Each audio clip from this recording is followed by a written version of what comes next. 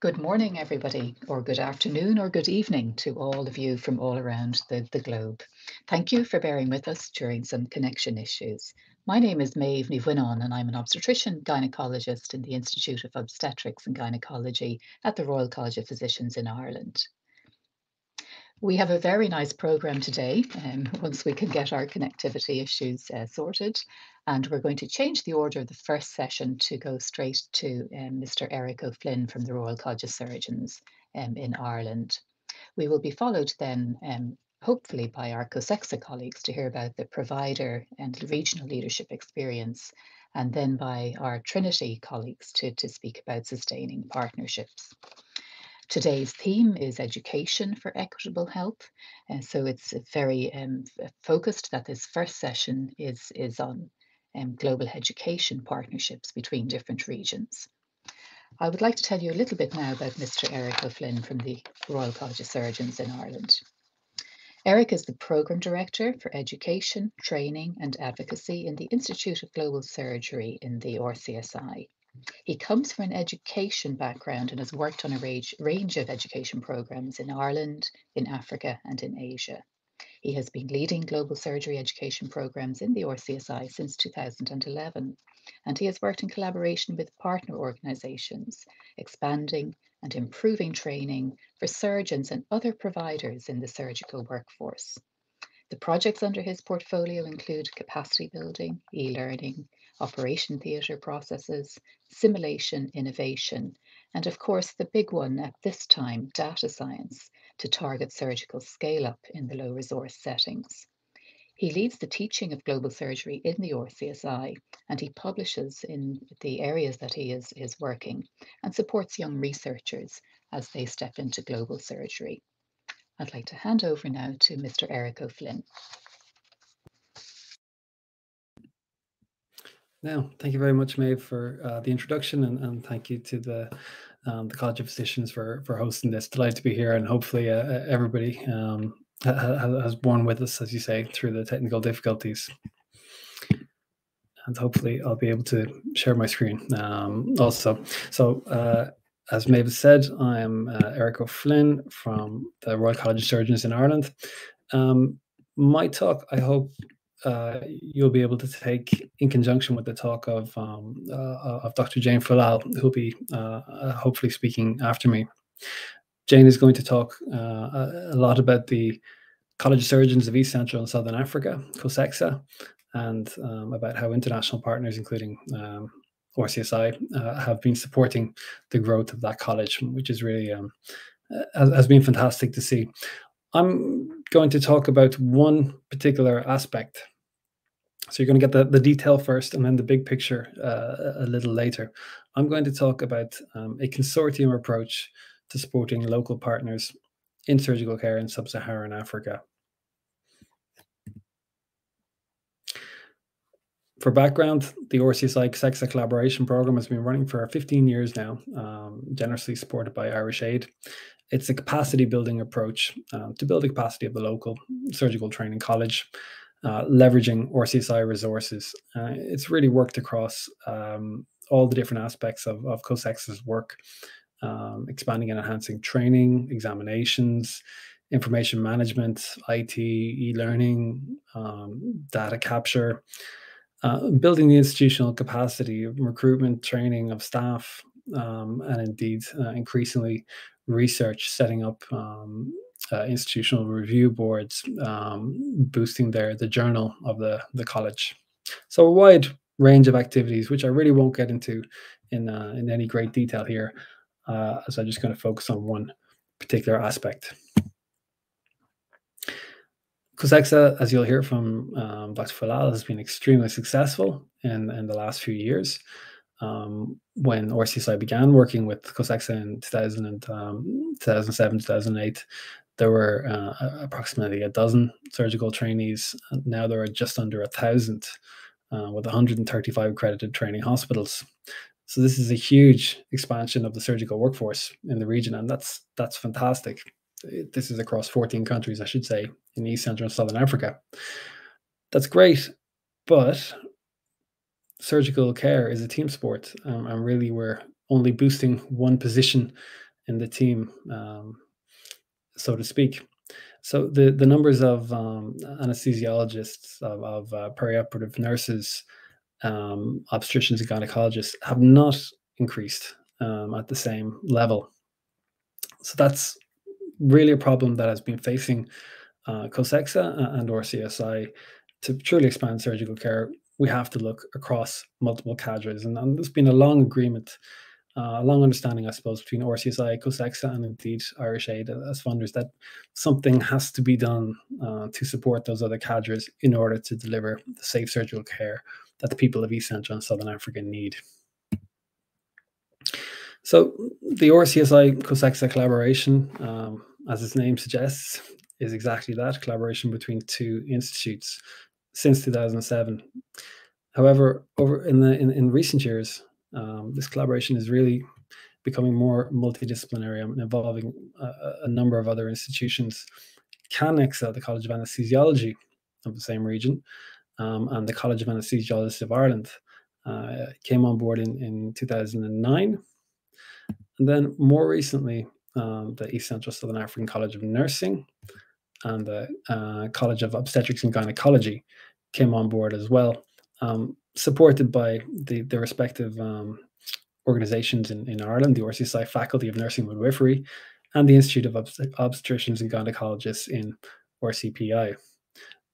So it's really uh, becoming much more multidisciplinary, um, and this is it's this change that I, I'd really like to focus on over the next few minutes. What what does this mean in practice? Well, most of the activities are still uh, related to a single cadre, and uh, surgical training is still the largest part of the work. However, there are an increasing number of activities that are inclusive of multiple different cadres at the same time. There's work that is being co-produced by multiple uh, multiple partners and multiple different cadres, and probably most uh, importantly, um, we found that so much of the work that has previously been done uh, in surgical training is actually replicable with not a huge amount of extra work for other cadres. And we'll look at some examples of that. First of all, um, activities inclusive of multiple cadres. Uh, training of trainers and training of, of master trainers um, has been taking place with RCSI um, and COSECSA in sub-Saharan Africa for many, many years. This is relatively generic training about how to deliver clinical teaching, uh, uh, bedside teaching, lecture, uh, how to give feedback, general pedagogical skills.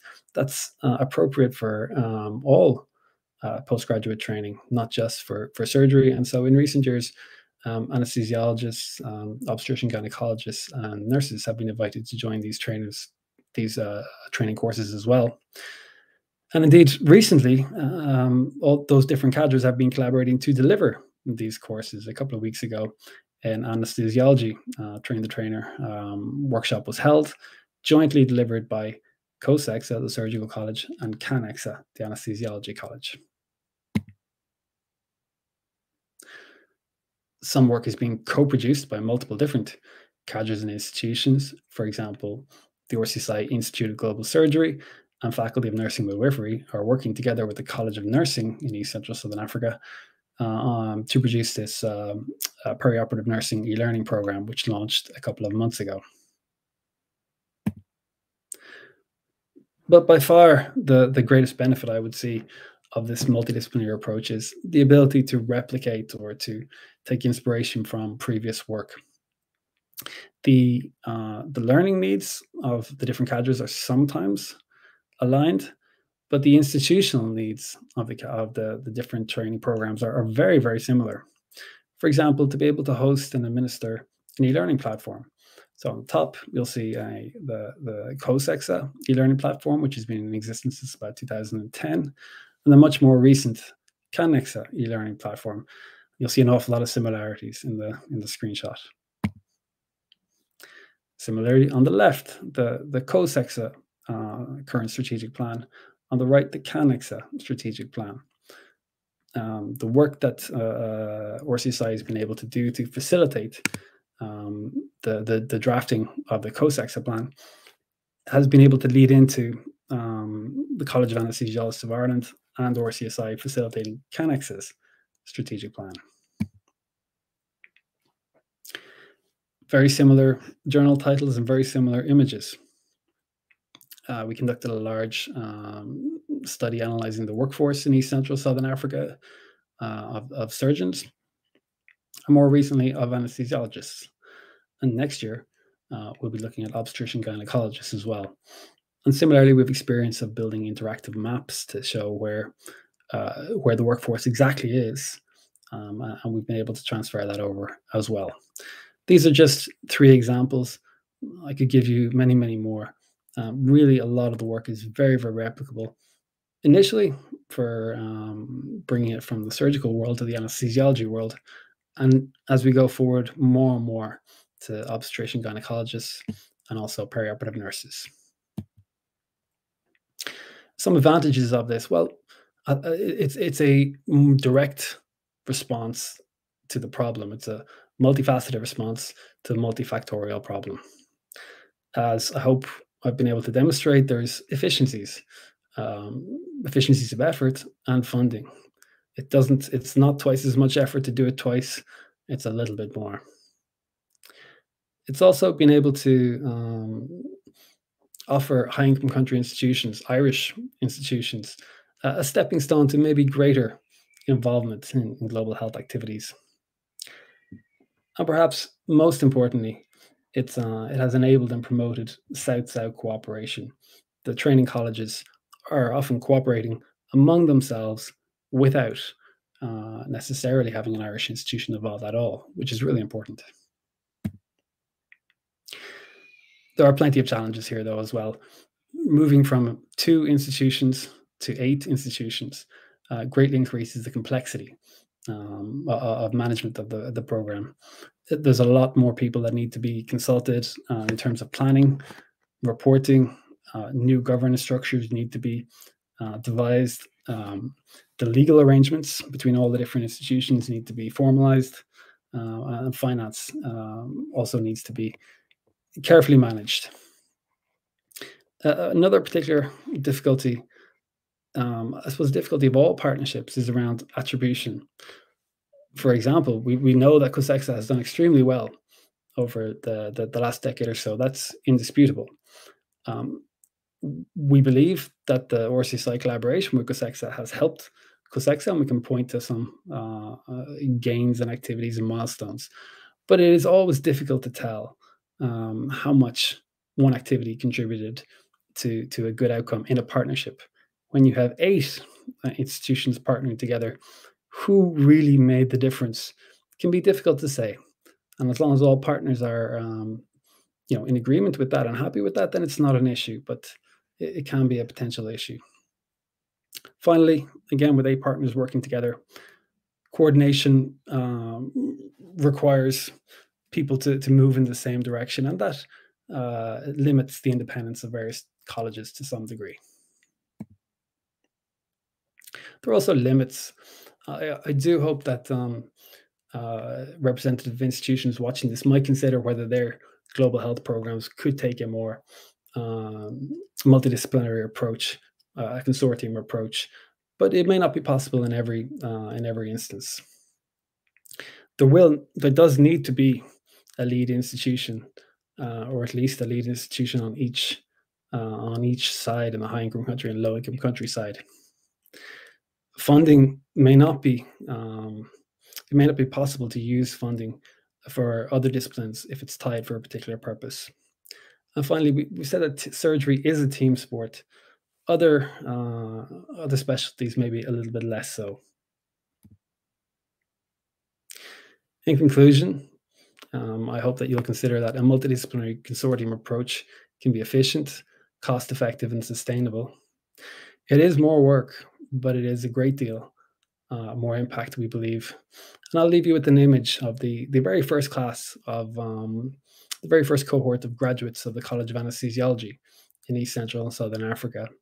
And in the middle, on the back row, uh, they're joined by the COSECSA president. I think that's a that's an important image of solidarity. Thank you very much for your attention.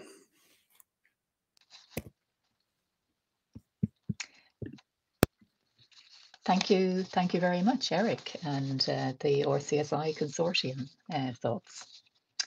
We are going to continue on to the third um, talk that is listed in the programme, Sustaining Partnerships in Times of Crisis, Lessons Learned from Sudan and Ireland Health Workforce Portfolio. I have great pleasure in introducing um, Dr. Frederique Vallieres and Dr. Ayat Abu Allah. Uh, Dr. Vallieres is the director of the Centre for Global Health in Trinity College, in Trinity Centre for Global Health. She is the associate professor in psychology, um, having um, studied at McGill and uh, and uh, is now working in leading the PhD in Global Health program at Trinity. Her current research focuses on the application of psychology to global health, with a focus on global mental health, mental health system strengthening, and human resources for health. She is concerned with closing the research to practice gap. She uses participatory methods and working in close collaboration with civil society organisations and through multidisciplinary consortiums, linking well into the um, RCSI thoughts we've just heard from, from Eric. Her partners have been in sub-Saharan Africa, in Asia and in the Middle East. Um, I will also introduce Dr. Ayat at this point, Dr. Ayat Abuagla. Uh, Assalamu alaikum. Uh, Dr. Ayat is a specialist in public health medicine and adjunct assistant professor in global health at Trinity College Dublin. She works in the domain of global health, reproductive health, health policy and systems, health workforce and implementation science, um, particularly in post conflict settings and in low and middle income settings. She is currently based with the University of Birmingham on the Dubai campus and is leading on health policy. She has worked extensively with multiple partners on sustainable development in five WHO uh, regions in the pursuit of global health security, universal health coverage. Today of interest, she has served at the Federal Ministry of Health um, in Sudan as Director of Research and Publication, and in particular, her work has informed the health system and health workforce reform, um, particularly the first health workforce migration management policy in Sudan, and has spearheaded the first bilateral agreement between the Federal Ministry of Health in Sudan and Ireland's Health Service Executive. I will hand over now to both Doctors Vallieres and uh, Dr. Ayat. Thanks, Maeve. Uh, can everyone hear me okay? Perfect. Um, so it's a pleasure for me, anyway, to be here and be able to present um, on our partnership here in the Trinity Centre for Global Health with the Sudanese Medical Specialization Board. Uh, it's been a partnership that we've had for quite a while now, um, all thanks to, I suppose, the, the dedication and um, hard work of my close colleague, uh, Dr. Ayat Abuagla. So, in the true spirit of partnership, we will be presenting this uh, together today. I know we only have about 12 minutes. So, the challenges are as Ayat to try and do this as effectively as possible without having it be too choppy, but I think we'll be okay. So, I'm just going to give a brief introduction uh, and set the scene a little bit, Ayat then is going to be talking a little bit about how uh, Ireland and Sudan have engaged in partnerships across a number of different partnerships uh, across both countries. I'll then talk specifically about the ESTHER partnership that we have between the Trinity Centre for Global Health and the SMSB. And then we'll have a bit of a reflection around um, what happens when things change very rapidly. So, in the case of Sudan uh, in, in 2019, very rapidly changing sociopolitical context, and how do we try and sustain these partnerships in times of crisis? So, all of that in 12 minutes. Um, so, just to set the scene a little bit, um, sorry, I don't appear to have function to change the size. Oh, thanks very much, Maeve. Um, so, essentially, Sudan is a very big country. Um, it's also bordered by uh, other countries where there's been a lot of um, civil unrest for, in some cases, many years. Um, Sudan hosts a number of refugees and asylum seekers within its borders. Um, and um, I suppose against this this kind of uh, background, there's also a critical shortage of human resources for health and a skill mix and balance. So Sudan produces a lot of doctors uh, for for the doctors to nurses ratio, many of whom are inequitably distributed in uh, Sudan's capital city, Khartoum. So predominantly located in more urban settings, as tends to be the case uh, in most settings worldwide. Um, there's also, I suppose, a weak absorption and, and retention policy. So Ayat will speak a little bit more about some of the agreements that she's helped to broker in terms of trying to um, make less attractive the opportunity for people to leave uh, Sudan in pursuit of medical careers elsewhere to try and retain um, some of the medical uh, staff within the country. Uh, so there's a brain drain problem um, with the push and pull factors largely uh, influenced by uh, countries in the global north. Um, and there's uh, also weak performance measurement, uh, which talks to a little bit of some of the work that Ayat did as part of her PhD in Trinity here as well, but we probably won't have time to get into that. Um, so as part of this, Ayat has been involved in a number of different partnerships, um, and I will hand over to her to describe those here. Thank you, Frederique, and uh, hello, everyone. Assalamu alaikum. Good morning, good afternoon, and good evening. It's a pleasure being with you here today. Um, and yes, as Frederique mentioned, it's quite a challenge summarizing uh, a partnership that has been built indeed uh, over several years and leveraging from um, actually connections and training and education um, back since the 1960s. So the current uh, partnership essence uh, is indeed to collaborate uh, um, to the common challenge that both our countries face. I mean, a health workforce crisis in general, it's a global matter. And as Frederique kindly mentioned, the health workforce landscape in Sudan. So both countries, Sudan and Ireland, through the Federal Ministry of Health and the Health Service Executive, uh, were both committed to implement the WHO Code of Practice through this umbrella agreement and used it as a framework to guide the training in both countries.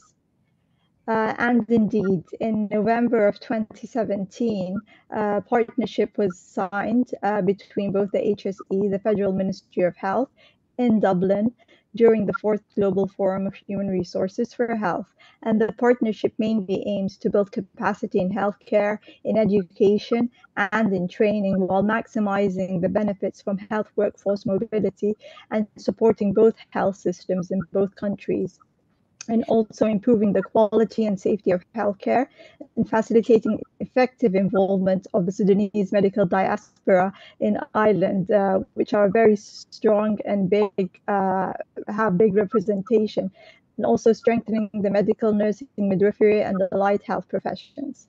Well, that was the umbrella agreement that was signed then. Uh, and through that, we developed the Sudan Ireland Partnership uh, Program uh, that I was leading on. And uh, through it and under that umbrella agreement, um, three main programs were set here in Ireland. The first speaks to the first aim of the partnership itself, and uh, Frederique will uh, further elaborate on the partnership between uh, the SMSB and the Trinity Centre for Global Health, Trinity College Dublin, through uh, um, Esther Ireland partnerships. Um, and the main aim was to enhance the health systems and strengthening. The second partnership was the International Medical Graduate Training Initiative Program.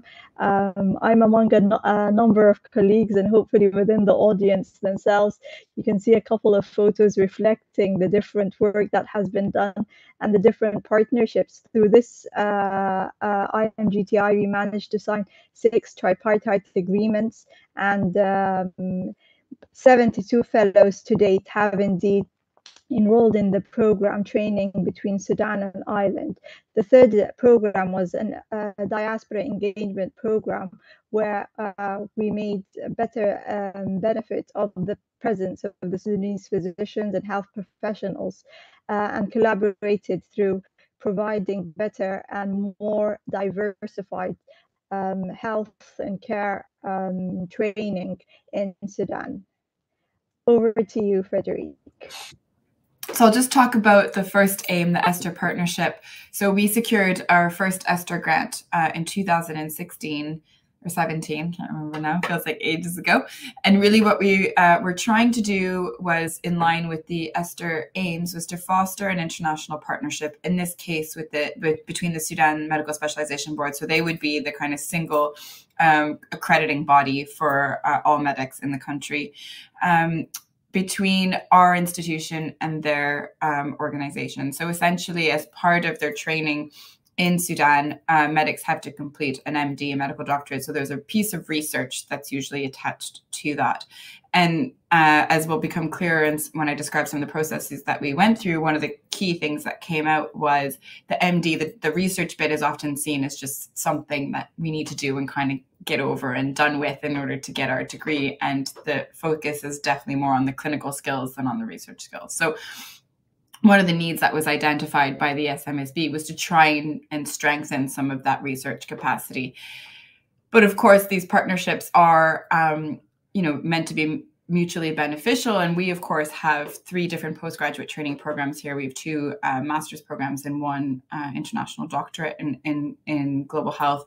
And one of the, one of the things that we were trying to do is actually strengthen our uh, ties in terms of health training and education. So, how can this partnership mutually benefit one another so that we can, uh, I suppose, learn from one another and share existing capacity in terms of strengthening research skills for students in in both contexts, right? So, our postgraduate uh, students and then also the, the, the medical um, students in Sudan. Um, and the way that we we did this is we um, did a series of kind of needs assessments. So the way that we identified this is we actually uh, planned a series of needs assessment workshops in Sudan um, with uh, I suppose, people that were representing all uh, different disciplines within medicine uh, within the Sudanese Medical Specialization Board. And what we did is we actually established a joint decision to really initiate a formal partnership, right? Because, of course, in our first visit, we didn't even know if we wanted to actually establish a partnership. The partnership had to be mutually beneficial. We had to identify kind of key points that we saw as being benefiting of both organizations. Um, also what we wanted to do is we we wanted to identify suppose current gaps in both policies and practice. So I mentioned the research, but also we identified gaps in terms of supervision um, and supervision for students, which is a gap that we also struggle with as well. Um, and then also trying to look at some skill exchanges between TCD uh, and the SMSB. So we did eventually uh, meet and decided that we wanted to proceed with the partnership, which is great. And we also identified, I suppose, some shared training uh, priority areas. And then we developed a joint training and research agenda, which was then kind of buttressed by a memorandum of understanding. Um, so in the memorandum of understanding, we agreed on the following kind of keys objectives for our partnership. One was to improve the quality and accreditation standards for both of our postgraduate education and training programs, trying to improve research integrity, but also fostering a greater appreciation for research among our postgraduate students. Um, improve the quality of supervision. And here I mean academic supervision rather than clinical supervision uh, for po our postgraduate students. And then also facilitating the exchange of academic and scholarly material. So the lowest hanging fruit in terms of our um, partnership and strengthening and showing proof of, of concept was the third objective. So in our second round of ESTHER funding, we'd secured uh, funding to be able to create interactive classrooms uh, for both students uh, here in the Center for Global Health and in the SMSB. So we put in place a communication system, a polycom system, um, and, and to create these interactive uh, classrooms for both of our, our uh, respective students and shared a shared teaching and, and learning curriculum. Um, unfortunately, then um, this happened, and uh, I am in much less of a position to speak to, I suppose, the socio-political context of Sudan than my, than my colleague uh, Ayat here. But I think we wanted to kind of take this opportunity to kind of reflect on what this meant for our partnership. And, and the reality is that um, as a result of the uh, socio-political unrest, a lot of the key members of, of staff within the SMSB that we, you know, spent a lot of time and energy identifying needs with, forging the partnership with, forging our MOU with, um, sh- shifted. Um, and I can talk a little bit more about that. So the question becomes, how do we maintain some of these partnerships when the very people that you've actually built this collaboration with, because as we know, partnerships are built between, you know, individuals and not built between organizations or buildings. Um, how how do we then uh, try and maintain those when travel is not possible, when people's priorities are shifting, and when the politics and the political priorities within a country are certainly uh, shifting? Um, so I'll hand back over to to Ayat on this as well. Thank you, Fred. Um, let's see. Yes, indeed, it was a challenge. So uh, in 2018, 2019, the revolution happened in Sudan. Uh, up to date, uh, the country has gone through a turmoil of events um, at uh, all levels, uh, if I may say um, the current government that is functioning is functioning on emergency. Um, there's been very high turnover uh, within all um, uh, public uh, and private institutions, if I may say. The geopolitical climate has totally changed.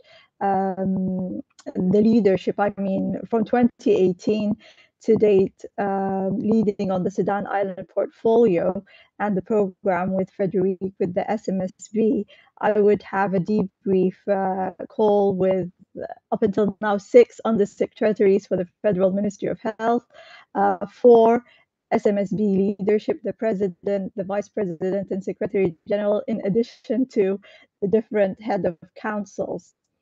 Uh, so it's a true challenge um, the unrest in Sudan, the COVID pandemic. Um, but we managed. We managed, as Frederique mentioned, um, with you know the strong ties and the true uh, sincere partnership and team effort and work that we built throughout the years. Um, some partnerships are less um, effective or, or active uh, as I can say, uh, than others. However, many of the lessons learned is indeed global health diplomacy and definitely by all means uh, improving and effective communication through formal and informal channels. I remember times when i flew from dublin to khartoum to reassure uh, uh, the institutions there and back from khartoum to dublin and off to geneva and back and forth just to maintain these ties to reassure people during the days of the revolution, uh, phones were dead. There was no internet except landlines. So I used to communicate with the different fellows we had within the program through landlines. But um, what kept, kept it living and what made us succeed, I might say, is indeed uh, demonstrating a win win approach and uh, um, stressing on the focal points, the different uh, focal points within the different programs. Um, and their goodwill and taking on board the professional associations and indeed the role of evidence in translating all of this into action. But indeed, it has been uh, a struggle, but with the goodwill of our many partners uh, in Ireland and in Sudan, uh, we succeeded. However, with a lot of hiccups um, and we're, we're learning we're learning as we're going uh, Frederique uh, over to you for your additions Thanks, Ayat. Um, yeah, so I suppose we'll we'll probably leave it there because I'm aware of time. But um, you know, I think one of the things that, at least for us, has been incredibly um, helpful is the fact that Ayat and I were very much in, in equal partnership approaching this. Um, and Ayat has put an, an, awful lot of time and energy um, to kind of sustaining these relationships. Um, and, you know, from the Center for Global Health perspective, that would not have been possible without a champion, which in this case is definitely Ayat. So the credit goes to you, Ayat, in, in that regard. But having the MOU where we did, you know, go through the process of identifying common needs and agreeing on what we believe were achievable objectives, at least in the short term, um, was very good in terms of anchoring us and bringing us back to, I suppose, the origin of this collaboration and you know why we kind of embarked on this on this venture together. So that's not to say it wasn't without challenges and including current challenges where Ayat is no longer based in Khartoum. Um, but, you know, we, we are pressing ahead with it and with new management and new people in place within the SMSB. Um, so I don't know if anyone has any questions or if we even have time or space for it, but thanks very much. And we're, of course, Ayat and I are more than happy to answer more questions about the partnership, either offline or online. But thank you. Thank you very much to Frederique and Ayat for raising some very important topics uh, during emergency changes um, as we, we continue in our systems thinking approach uh, to, to global surgical systems. Um, I would like to introduce Dr. Fualal Jane Obubu, Odubu. Um, we believe she's joining us um, again, having uh, had the previous connection issues. Um, she's joining us from Kampala today. Um, Jane, uh, thank you, Dr. Fualal. I see you on screen now. Um, it is my privilege, uh, great privilege, to welcome one of the dominant women in surgery in Africa to this meeting uh, today. Um, Dr. Fualal um, is a breast and endocrine surgeon in Mulago National Referral Hospital, Uganda, the teaching hospital for Makerere University, where she holds her academic post. She has numerous leadership positions and has risen from president of her own association of surgeons in Uganda to vice president for the College of Surgeons of East, Central, and Southern Africa region. And I believe they will be meeting shortly. Uh, she um, has developed the breast and endocrine unit at Mulago over her years in the institution, advancing multidisciplinary breast cancer care and also her special interest area of thyroid, thyroid surgery and has brought thyroid surgery and made it accessible um, to many in um, geographically dispersed areas of Uganda.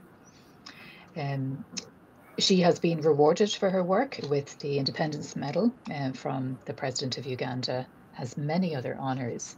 But in particular today, it is great for us to hear when we're talking about um, equitable healthcare how a frontline surgical provider can also lead such change over um, a single career. I would like to hand over now to Dr. Fualal.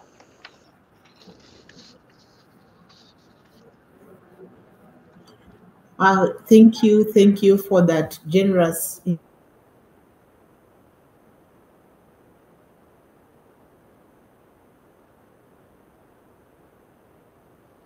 to talk about the College of Surgeons of East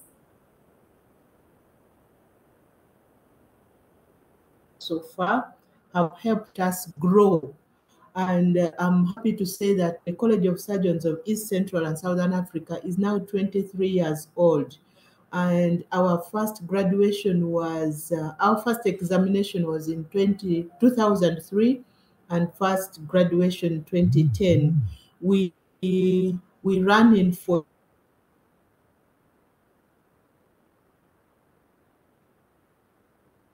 in the uh, countries like in West Surgeons of East Central and Southern Africa is in 14 countries and it is 23 years old now.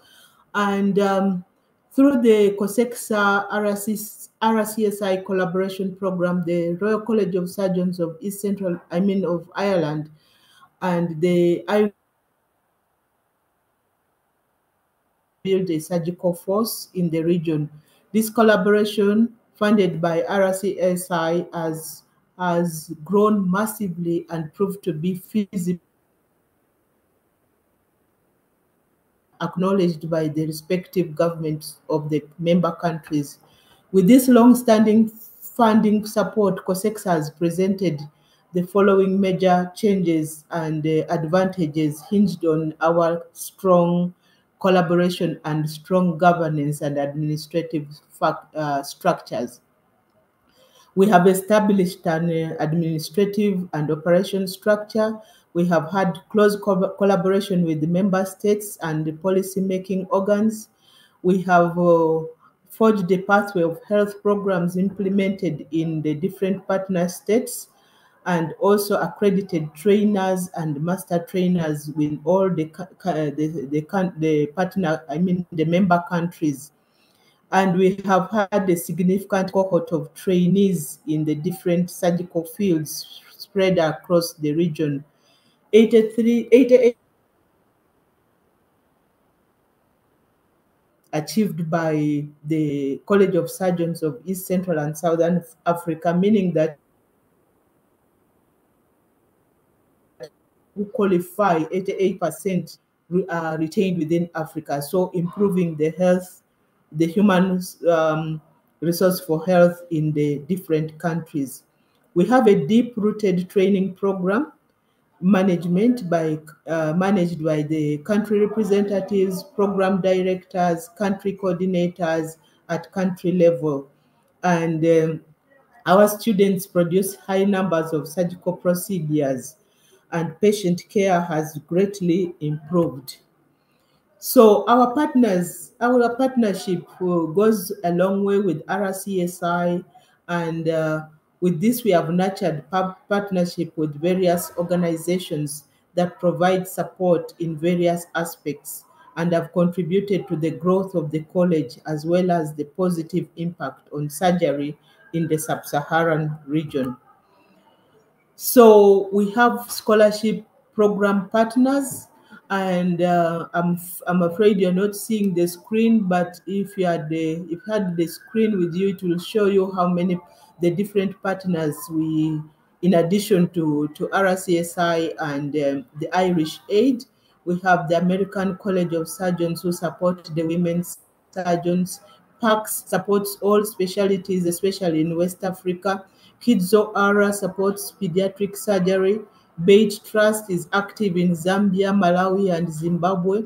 Smile Train, Operation Smile, ReSurge International, Second Chance sponsor our plastic surgeons. And we have AO Alliance, which sponsors our orthopedic surgeon, orthopedic and neurosurgeons, especially the female surgeons in that field. So because of that uh, collaboration and support, this uh, it has culminated into a very steady rise in trainees. We have uh, over around 2020 to 2021, we had about 4% rise. But when of late we have 23% rise, which is this is about four times the original rise in registration of, of trainees. And I'm happy to say that also the female candidates, you know, female females always shy away from surgery. But now we are seeing a rise in female uh, um, applicants, and this has risen to 16%, which is very good. This graph shows the exponential rise in the intake of COSECSA and the number of candidate students applying for the training, and it has shown a tremendous rise from only two candidates in 2002, five in 2003, to now 373 in 2022, which is an exponential rise indeed. The female trainees have also, and enrollment has also increased from 2017 to 2022. In 2017, we only had 18 females applying, but by 2022, we had uh, in 2022 alone, we had 98 female surgeons, female students applying for the course, which shows a tremendous uh, intake. Now, when we look at uh, training per country, the number of trainees per country also have markedly improved, with Kenya taking the lead, followed by Zambia, Uganda, and Ethiopia. Kenya's uh, registration was only, was 254 as compared to Zambia, Uganda, and Ethiopia, who had averagely 111 uh, trainees applying. And uh, the, we hope that the rest of the countries will also follow suit. Um, uh, a total of 182 candidates graduated in 2021 and of note is that we had a strategic plan targeting 500 surgeons to be trained by 2020. We were surprised to see that the figure was 557 above our estimate. and this represented a 110% achievement.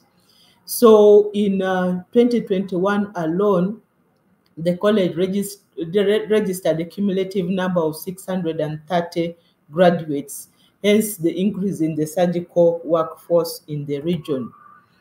Um, there's a graph which shows how many surgeons per year are produced, and it also shows that a exponential rise and also another graph showing the female graduates per year, which has also risen exponentially from a flat graph to a very high level.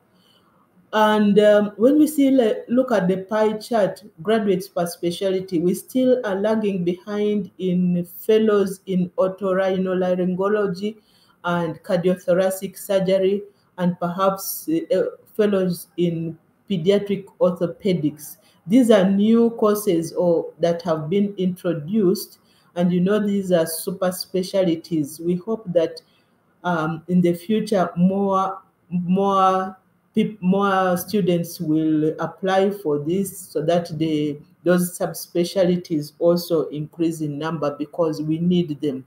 There are a lot of patients now.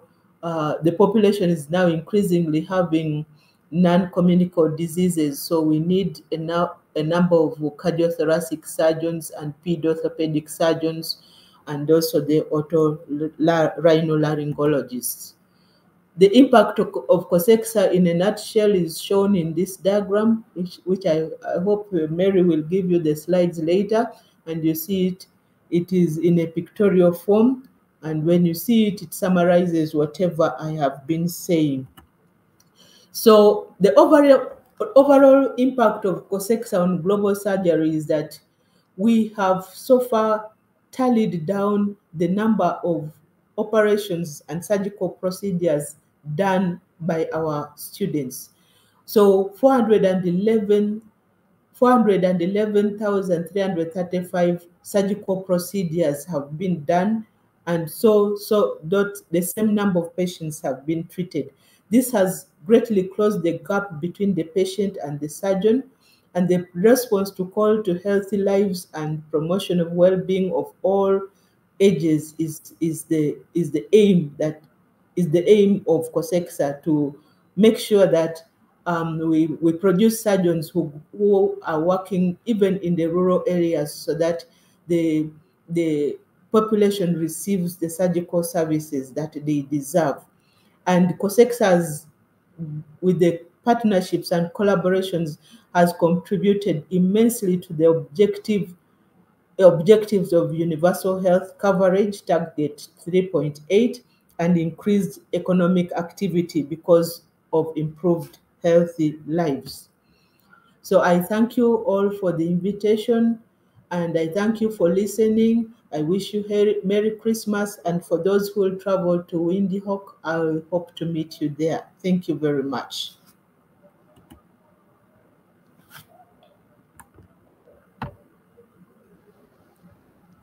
Over to you. Thank you very much, Dr. Fualal.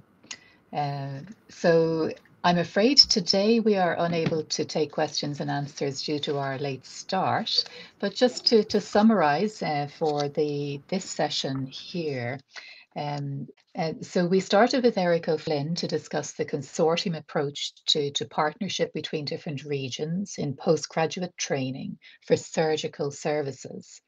We then heard about uh, surgical um, or general um, partnerships between Trinity and the Sudanese Medical um, Specialist Board and how conflict and crisis um, and change of institutional leadership requires um, additional champion work and certainty around the mutuality of the partnership.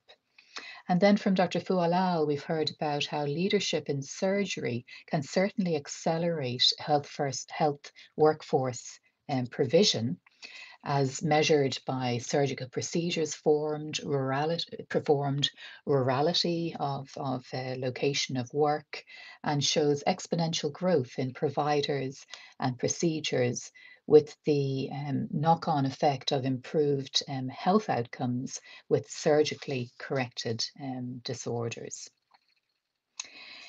As we wrap up this session, the, the takeaway questions for me are how we can join the consortium college approach, postgraduate collegial approach, which has great geographical reach, to think upstream uh, into the community for the users of surgical services, and to think downstream of what other innovative approaches we can take um, to, to improving health that may not be achieved because of surgical burden, burden of disease with that, I would like to, to wrap up this session and to guide you to move on to your next uh, session, which will be in the breakout rooms.